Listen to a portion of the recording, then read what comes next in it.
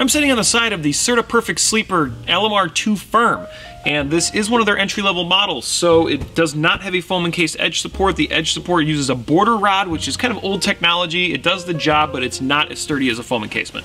This mattress is kind of a thin mattress. There's not a lot of comfort padding layers, but it does have a pretty pleasing overall feel, in my opinion.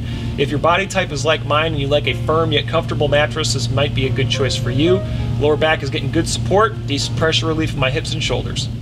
This mattress is definitely too firm, in my opinion, for a side sleeper with my body type. You are going to sleep on top of the mattress, not in the mattress. You can really tell my head is sloping back toward the bed here, which means I'm not really getting enough contouring to be level. Big pocket in my rib cage area where there's not really a lot of support. In my opinion, if your body type is like mine, you're a back sleeper or a stomach sleeper, and you're used to something that feels firm but not hard, then this is going to be a good choice. If you are a side sleeper, go with something softer to make sure that you're getting the pressure relief you need to avoid waking up during the night with achy limbs due to poor blood circulation.